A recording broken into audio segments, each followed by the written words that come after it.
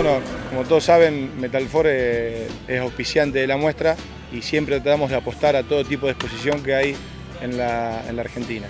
Y, más que nada Expoagro, que es un, vínculo fuerte que tenemos con ellos desde la parte comercial y de la parte, digamos, afectiva. La verdad que mm, desde lo afectivo uno siempre está rodeado de gente amiga, de gente querida, inclusive para hay chicos que ya no están, que vienen, nos visitan.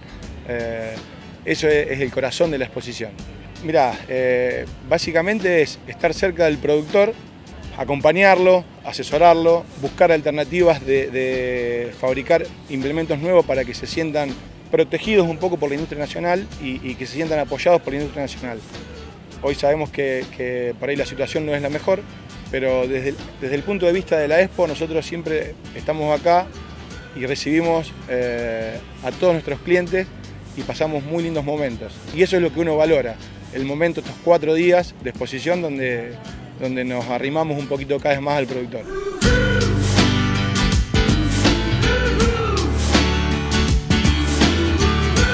Las expectativas siempre son las mejores. En, toda exposición, ya sea a nivel nacional, a nivel local o a nivel provincial, siempre uno va con las mejores expectativas. Las expectativas siempre son las mejores para Expoagro y, y lo vemos reflejado la cantidad de gente que viene, en los negocios que se hacen, en las operaciones. Así que para nosotros, hoy por hoy es una exposición que, siempre vamos a apostar y vamos a seguir apostando como hicimos siempre. Lo que viene estos cuatro días, eh, mucha gente, gente que vino interesada, gente que vino averiguando, eh, pero creo que ayer y hoy fueron días muy positivos donde vino mucha gente.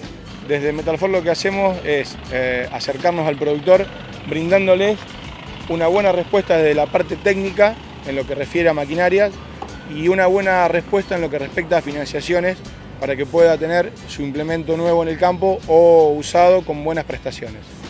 Si acompañaran un poquito los precios sería un año bastante bueno. Hay que esperar a ver qué pasa después de la misma y que si mejoran un poco los precios va a ser un buen año.